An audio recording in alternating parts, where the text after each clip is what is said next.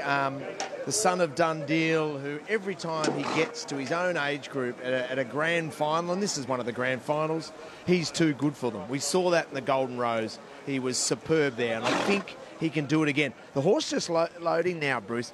He's a really interesting runner. Where's Tom Kitten at? Today we'll find out. No excuses for him now he gets to the mile. James Cummings will know what he's got. Yeah, it's a good question, Richard. I think he's going well. I don't think he's got to the right race. I think he's getting to it today, and he's going to run a very good race today. And then Rosehill Guineas and maybe the Derby. That's the way. But he's got to run well today and finish it off. It's been a day where a few of the shorties have got beaten. Think about it in Private Eye in the last two races. We've seen some dramatic turns in the Golden Slipper as well. So up comes Kerrin McEvoy. Could he and Les Bridge get their first Group 1 together today?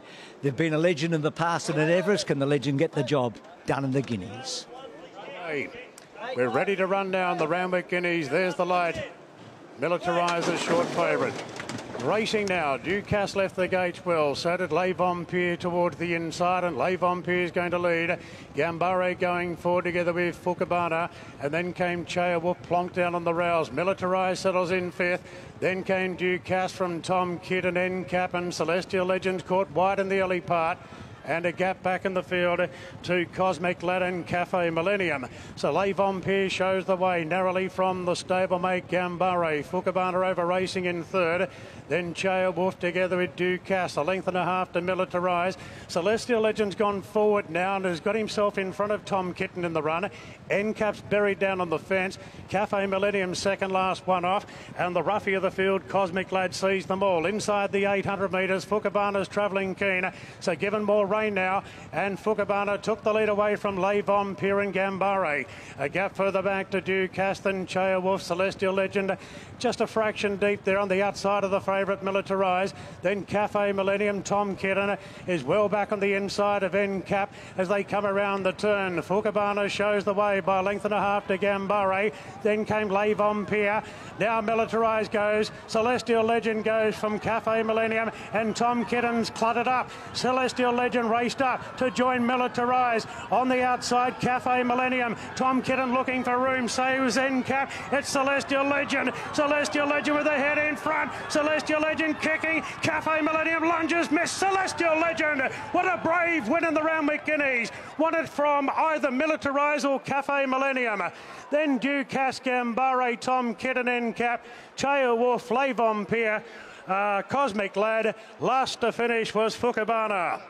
How appropriate two legends of the sport, Kerrin McEvoy, 82 Group 1s, those three Melbourne Cups and all those Everests as well. And Les Bridge gets another Group 1 to go with the Everest. His 12th for Les. He's 85. He hasn't had a Group 1 for a long time since Hot Danish won the Doomben 10,000 14 years ago. How good is this? An 85 year old putting the polish on this horse who we seem to know so well. This is spectacular. What a race, what a run, what a result. What a finish. Three horses across the track. I, you could just see that Militarized was giving his absolute all, but Celestial Legend was just really fighting and he wanted it just that little bit more. Cafe Millennium put up a massive performance under Tom Marquand, but what a run.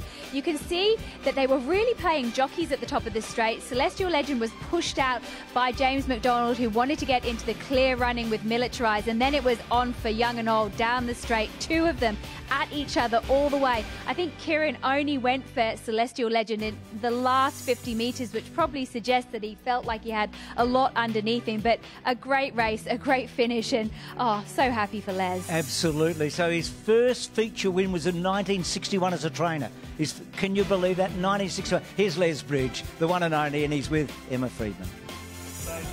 Les, you've been doing this a real, real long time. 70 years in this game. And look what you produced. You produced a horse to win two really good three year old black.